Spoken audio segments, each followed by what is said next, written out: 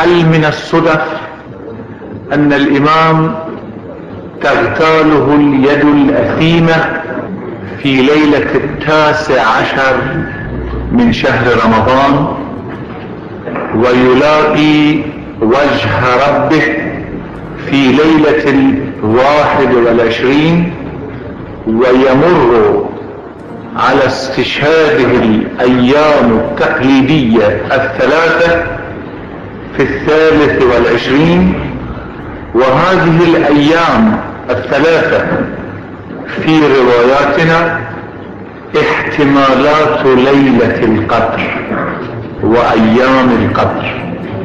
هل من الصدف هذه المصادفة أو أن عليا عليه السلام بالنسبة لهذه الأمة كان قدر هذه الأمة وقدرها؟ هل علي عليه السلام بالنسبة لليالي هذه الأمة الحالكة كان نورا يقرر مصيرها ودعاء يقضي حاجتها وعزا يرفع ذلها وعمرا يطول أمدها.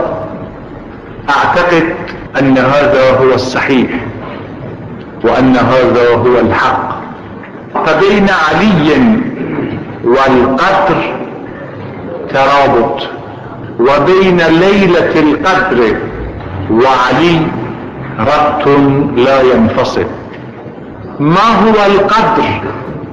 أيها الإخوة المؤمنون المحتفلون بليلة القدر.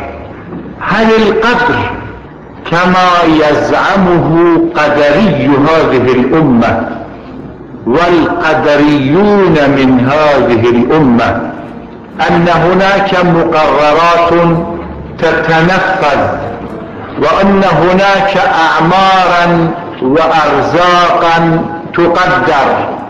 وأن هناك سعادة وشقاء تكتب بمعزل عنا في ليلة مجهولة لا نعرفها. فاذا نواجه مستقبلا ننتظر مصيرا ما شاركنا بتحديده وفي تعيينه. إذا كان هذا معنى ليلة القدر فليس بينه وبين علي أي ارتباط.